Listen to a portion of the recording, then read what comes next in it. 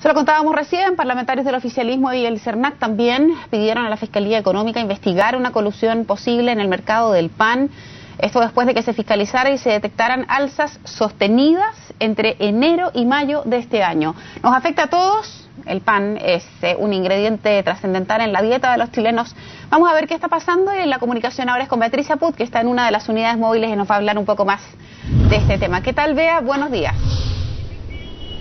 ¿Cómo estás, Vero? Muy buenos días. El precio del pan subió más del doble en panaderías que en supermercados. Y algo huele mal, dicen los parlamentarios. Es por eso que en el día de ayer, junto también, eh, aparte, perdón, del CERNAC, eh, presentaron una denuncia en la Fiscalía Nacional Económica para que investigue si es que podría haber una eventual colusión. ¿Por qué es lo que creen, por qué creen esto ellos? Ya que dicen eh, que no hay un argumento técnico, ya que los precios del, trigo no han subido de manera excesiva como para que suban así los precios. Queremos conocer detalles de esta denuncia y qué es lo que esperan los parlamentarios y es por eso que me encuentro con Gabriel Silver, diputado de la democracia cristiana y quien también, recordemos, estuvo encabezando la investigación eh, de la colusión contra las farmacias. Diputado, primero preguntarle respecto a esta denuncia que hacen ustedes el día de ayer, ¿cuál es el principal argumento que ustedes tienen para decir que algo huele mal?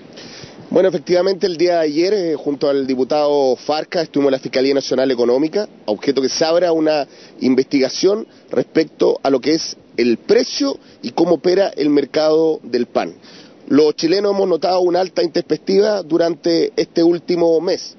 Podríamos explicarlo en distintas razones, pero lo principal de nuestra demanda es que un estudio bastante serio hecho en la región metropolitana durante mes a mes. Durante todo el año pasado ha entregado antecedentes concluyentes respecto a una eventual coordinación, colusión de las panaderías a la hora de fijar el precio del pan. Vemos una suerte de simetría de precios, un efecto espejo en este caso entre ambas, lo cual algunos podrían decir se puede explicar eh, a propósito del, del reordenamiento del mercado.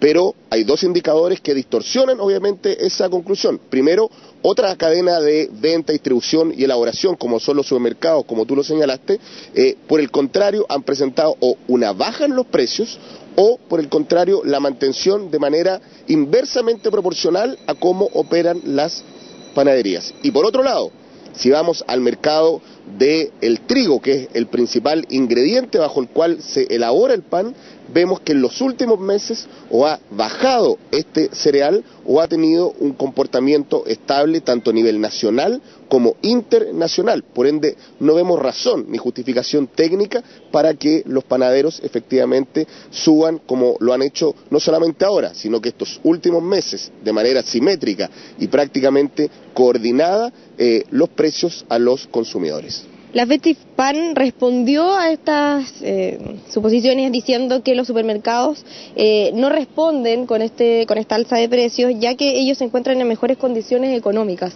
¿Qué le parece ese tipo de respuesta? A ver, decir eh, dos elementos. Ellos han acusado razones técnicas los costos, tanto humanos como también de el precio de la energía y la verdad es que en ninguna de las explicaciones vemos aún motivos plausibles para explicar estas alzas o el comportamiento del mercado durante el último año.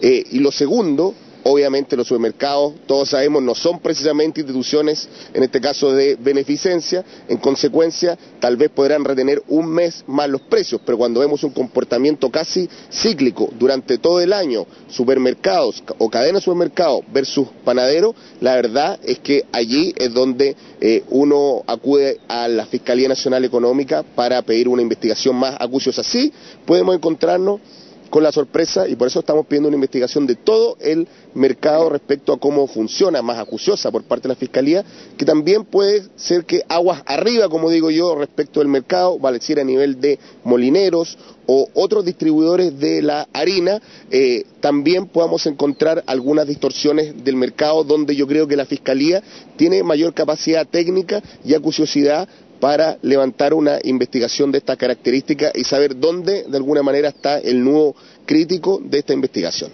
¿Cuántas panaderías están siendo investigadas o van a ser investigadas? Y también ustedes le han pedido eh, al CERNAC y también a la Fiscalía que investigue más allá de la región metropolitana.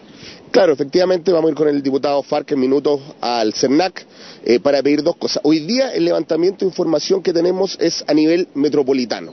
75 puntos de venta, tal vez las panaderías más grandes, por eso es que tampoco encontramos explicaciones cuando se lo compara con el panadero chico. Aquí hay centros de costo y volúmenes de compra importantes. Entonces vamos a pedir información del resto del país para tener un levantamiento acabado de la información nacional y poder contrastarlo a cómo se opera en el Gran Santiago. Y como digo, eh, también eh, solicitar y queremos intercambiar con el CERNAC información respecto de las panaderías de barrio, estas que no fueron parte del estudio y que a lo mejor, por ejemplo, no han participado eh, de esta distorsión respecto a los precios, como si ayer presentamos antecedentes en la Fiscalía respecto a las grandes.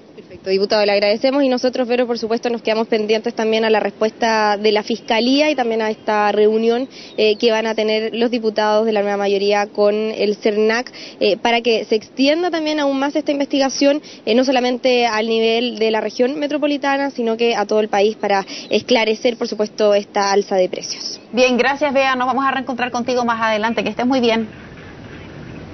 Buenos días. Chao.